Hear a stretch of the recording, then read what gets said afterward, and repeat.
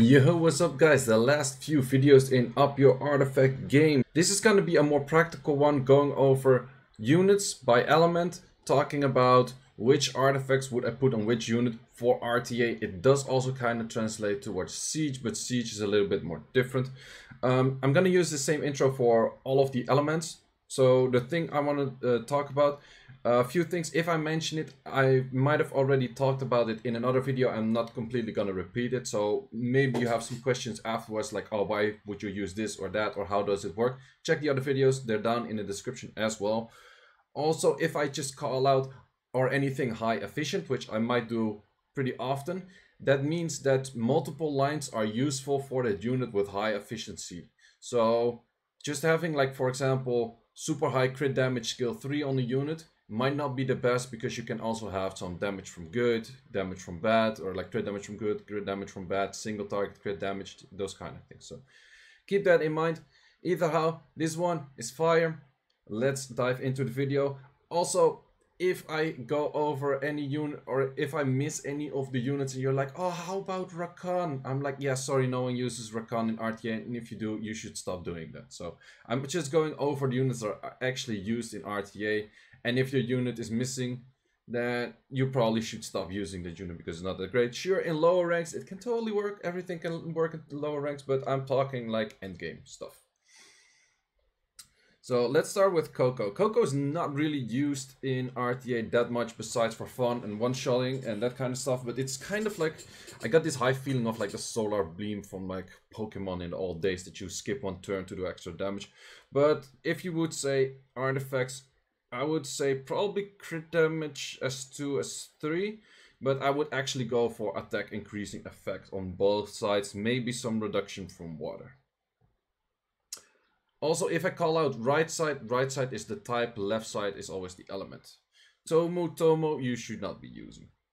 Carnal, Carnal is used a lot, and I would say maxes accuracy by runes. Don't put artifacts of accuracy on Carnal because Carnal needs three skills of accuracy. So that's more explained in the accuracy video. So I would go high in additional damage, mainly on speed and on HP. So don't go purely on speed because you probably run this thing on high HP as well. And don't go purely on HP because you probably have a lot of speed on this unit as well. So kind of a combination of the two, whatever is like highest efficient.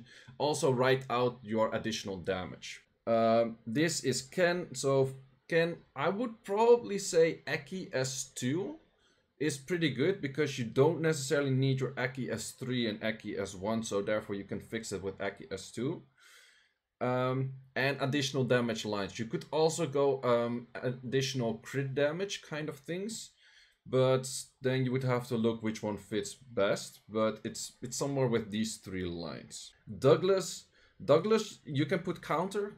Counter is pretty good on the right side left side.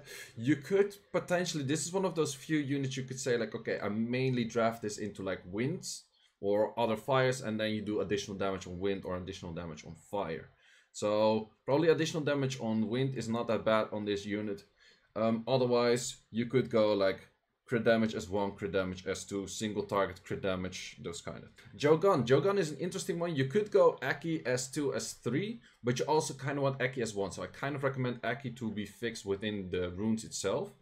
And in this case, I would go speed increasing effect. So speed increasing effects actually gives you a higher speed buff, and therefore your scroll lasts longer. So you could try to make him do damage, it is a little bit difficult. So I wouldn't necessarily go like crit damage or additional attack kind of things on him. But I would add like a lot of like speed increasing effect. Therefore your scroll um, is based on more speed and therefore you also, the unit will stay in a scroll state for a longer time. Marsha. Marsha is one of those units. Um, Eki S2 is really good. Single target crit damage. Um, some people go additional damage by attack or additional damage or speed. Those don't add up too much. I would just go high crit rate on this unit. Go for crit damage. Make sure like 90-ish crit rate. And then the Eki S2 is also pretty good. You could make Marsha into your uh, wind or fire killer. And then add some additional damage for that as well. Belenus. Belenus, I would probably say Eki S2, Eki S3, because mostly in the stats you don't put too high Eki on this unit. And then probably some reduction stats, because it's more important that you land your stuff, and he probably does a lot of damage anyhow. So I would go for that. Ophelia is not really used in RTA. Was used back in the day, but don't really recommend it anyhow. Elena is not really used in RTA. You do see it here and there, but I would go like purely crit damage S2. And then, hmm, besides that, I'm not sure. Maybe some Eki S2, Eki S1, those kind of things. Daphnis is not really used that much anymore, but I would go Eki S3 on this one. Like pretty high Eki S3. And then probably some additional damage on, well, whatever you use this for to one shot, but it's not that great of a unit. So wind, light, fire, anything like that. Segment also not that much used in RTA. I would probably go additional damage um, artifacts, so probably from speed, maybe from some from HP, because you have a multi-hit on your S2. You could go for Eki S3, but you kind of want to have max Eki because all three skills are Eki once again.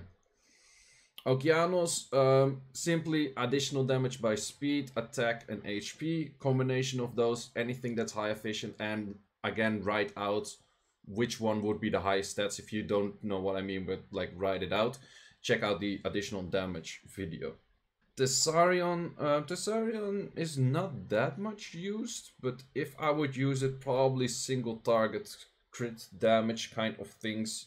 Maybe even put him like a slot for crit rate and uh, then single target crit damage. You could go Aki S3 for the Oblivion, Eki S2 for the armor break.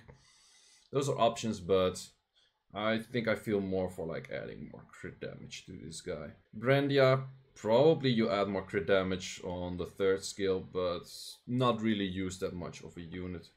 You could go S2 Aki, which is pretty decent if you would use this one.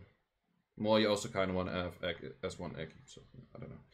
Chiwu, Chiwu um, is an interesting one. Most of the time, um, if Chiwu is used, you kind of want to like full CC a team. So I actually put a um, additional damage on fire, and it was mainly on Juno. That's what I put on my Chiwu back in the days. And then just some more additional damage on whatever I could find that was like high efficient to do more damage with Chiwu. That was mainly what I went for. Raki, I would Rocky definitely go S2 Eki and then probably S3 crit damage and then on the left side uh, I would probably do additional damage from attack. Combination of those kind of things. Velajewel, ooh, interesting one. I would highly recommend if you have him crit, I would probably build this one crit damage, um, like increasing the crit damage. If you don't have that much crit rate, I would even put a slot for crit rate. Something you could put if you still have those artifacts is speed on inability. That could be decent for Velajewel as well, but it's not that great. Probably you just add like additional crit damage, those kind of things. Maybe you would put um, speed from low HP because then you could get a momentum where you could cleanse or something like that. But that's about it for Velajewel. Mei Hou Wang. Mei Hou Wang is one of those units you kind of want to make him solo stuff. You probably want to go crit damage as one, as two. And on the other side, I would probably go reduction. Like, you probably draft Mei Hou Wang into fire slash wind units. And if there's no water units, so you could go like damage reduction from uh, fire, additional damage on fire, additional damage on wind. Those. Leica, um, I would say most like us currently are either Vampire or Rage. I would add like really high recovery S1 and life drain for his S1 recovery. And then besides that, just add as much damage things as possible. And you could also go for like a high additional damage um, on element if you just draft it into like certain elements. Rika, Rika, I would probably go Eki S3 and some uh, additional damage artifacts. You could go on the left side some reduction from fire, water, those kind of things. But in most cases, Rika, the main damage just comes from hitting multiple times. She's already tanky. She should be 100% resist. So adding additional damage lines is mostly what's good on her. Juno, really simple, straight up additional damage lines from speed, HP, Um, attack here and there is not that bad as well, but probably mainly speed and some from HP. You could also, if it happens to happen that you put like crit damage as one or um, single target crit damage, it's not bad, but it's also not that great. Like the additional damage lines will just do a lot more. You could, if you have to, if you happen to have it, recovery S3 is actually pretty good on her as well. Vanessa.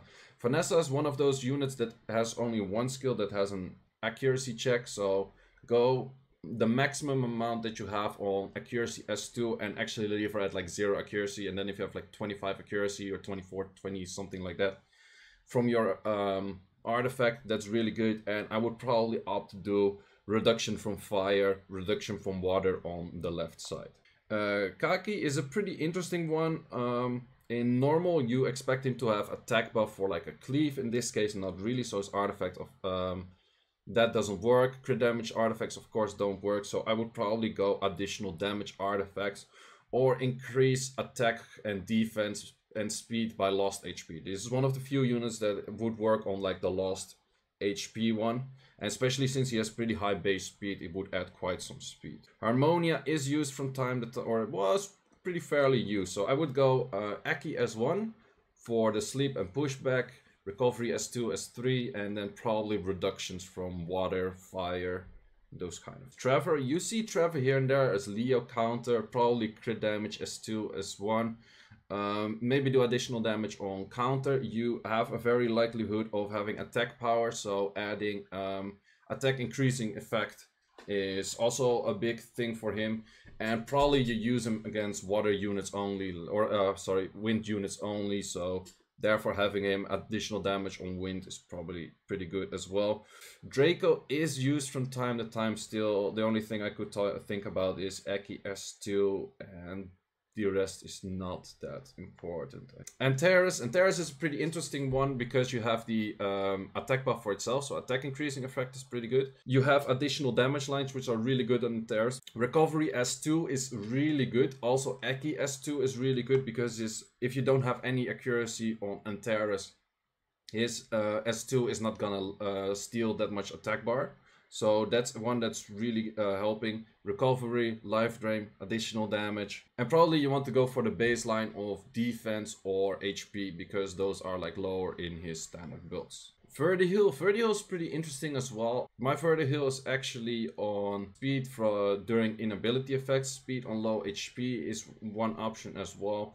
You could go for some additional damage line from HP or speed, but besides that Vert, you could also go like crit damage as one, as two, those kind of things. But Vert is one of those units that doesn't benefit that much from artifacts, I would say. But you can have the baseline of HP, which helps him quite some. Clara. Clara is one of those units that I would recommend Eki to be fixed in accuracy of the unit itself. So because all three skills have Eki checks. And then probably just add additional damage lines from speed, from attack. And that's probably your way to go. Garo, mm, probably Eki S2, crit damage as one, S1, S2, single target crit damage, those kind of things. Uh, maybe additional damage from low, or like additional attack from low HP could also work pretty well on him. Ranuki, the one and only, uh, recovery S2 and probably speed from low HP and like defense from low HP, those, those kind of lines. is probably the only thing that's useful on him. Okay, and that was it for fire. So actually went decently fast, about 15 minute video. I'll go on to make the other videos and I'll probably post them like one per day.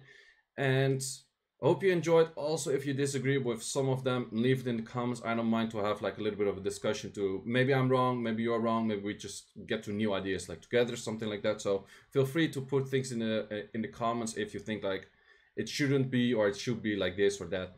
Anything doesn't matter. So hope you enjoyed and see you in the next one.